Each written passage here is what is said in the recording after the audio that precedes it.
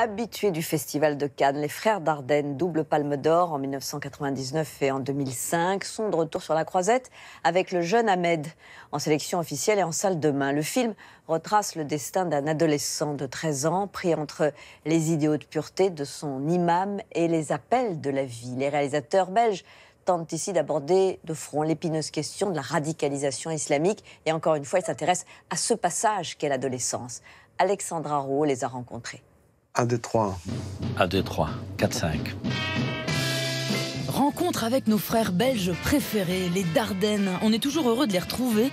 Ils sont d'une régularité épatante, un film tous les trois ans, et ce depuis presque 30 ans. Aujourd'hui, ils nous présentent Le Jeune Ahmed, l'histoire d'un ado conquis par l'extrémisme religieux. Il y a un mois, t'étais tout le temps à jouer à la PlayStation avec Karim. T'as enlevé tous les posters de ta chambre. Tu serais d'accord qu'on discute du Coran une fois par semaine tous les deux? Je peux pas lire le Coran avec une femme. Tu préfères le lire avec un imam qui est un menteur C'est pas un menteur. Si, non. C'est un menteur, Ahmed. Les frères ont monté les marches hier soir au Festival de Cannes pour la compétition officielle. Une broutille pour ses habitués doublement palmés et lauréats d'un grand prix. Après huit nominations, ça ne serait pas un peu la routine ce festival? C'est pas une routine, c'est un nouveau film. Hein donc c'est pas une routine. La seule chose qui est une routine, c'est euh, peut-être se retourne dans le même hôtel. Voilà, ça c'est. Mais, mais le film est nouveau, c'est pas. Donc pour nous, c'est une nouvelle aventure. Après avoir dirigé Cécile de France, Marion Cotillard ou Adèle Haenel, ils sont revenus à leurs premières amours, des acteurs méconnus débarrassés de toute image de cinéma. C'est inhérent au fait que le personnage a 13 ans hein, et que sa comparse à un moment donné dans le film elle en a 14 et que on ne voulait pas non plus que tous ceux, tous les adultes qui allaient les entourer et être présents dans le film soient à cause de leur, de leur notoriété, un obstacle entre ces jeunes acteurs et le public, surtout entre Ahmed et le public. Devant leur caméra, on en a vu éclore des jeunes talents. Le petit Jérémy Régnier dans La Promesse, Émilie Dequesne dans Rosetta, Déborah François dans L'Enfant, ou encore le jeune Thomas Doré dans Le Gamin au vélo. Oui Je fais un tour en vélo, dans la cité. Des visages méconnus qui ont littéralement porté leur plus grand film. Et ici, avec Idir Ben Atias dans le rôle d'Ahmed, ils ont encore trouvé une perle. Alors ça tient à quoi?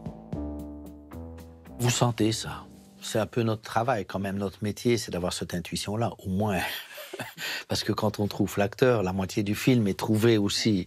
Ce qui nous plaisait aussi chez lui, c'est que son corps, comme, comme tous les jeunes à cet âge-là, évidemment, il a 12 ans et 8 mois quand il tourne, hein, euh, le corps n'est pas fini. Il y a ses rondeurs, il y a, il y a ses lunettes, son regard, euh, il y a plein de choses, qui, ses mains qui sont encore un peu potelées comme les mains d'un enfant. Il y a quelque chose qui, qui fait que le spectateur se dit mais c'est pas possible que ce garçon il soit à ce point dominé par l'idéologie de son imam. C'est pas possible. Tu me regardes? Ahmed, j'ai envie de t'embrasser. Qu'est-ce qu'il y a? Rien, rien, juste comme ça. Pour nous, il y a un réel plaisir de fil à filmer les corps, les visages des comédiens. Que le spectateur ait le sentiment qu'il a en face de lui pas un personnage, mais une personne. Ça, bon, voilà, nous, c'est ça, qui nous, allez, qui nous motive, qui, qui articule notre travail de, de metteur en scène. Et quand vous avez devant vous un jeune garçon qui joue pour la première fois au cinéma et vous voyez que c'est en train de se passer, c'est formidable. Je suis plus un enfant. Et alors? Et alors, un vrai musulman serre pas la main d'une femme. Et tous tes copains dans la classe qui me serrent la main, c'est pas des vrais musulmans Non. La jeunesse a toujours eu une place primordiale dans leur cinéma. C'est par des personnages d'enfants et d'adolescents que les Dardennes captent précisément le monde qui change.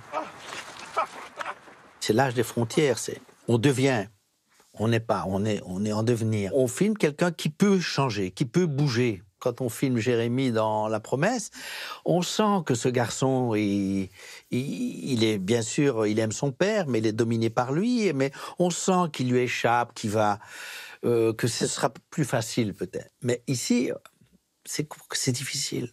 Et c'est un personnage qui est en écho terrible avec euh, le monde qui nous entoure. Et on n'a jamais eu un personnage sur le potentiellement changeant, qui peut bouger et qui en même temps est autant prisonnier. C'est la première fois qu'on a ce conflit aussi fort, rien qu'en le regardant.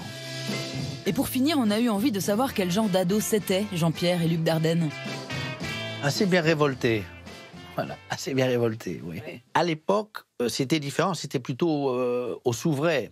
On, on cherchait le contact, euh, on voulait découvrir des nouvelles choses, euh, faire l'amour avant l'âge autorisé par les parents, euh, voyager, bouger. C'était pas un repli. Aujourd'hui, on est dans une époque de repli. On est dans une, revendication identitaire. Je trouve, personnellement, euh, j'avais jamais nouvelle et dangereuse. Et c'est ça qu'on vit aujourd'hui. Je sais pas vers quoi on va, mais je suis pas très optimiste. C'est la deuxième fois que je viens, mais c'est encore plus dur que la première. J'aimerais tellement que tu redeviennes comme t'étais.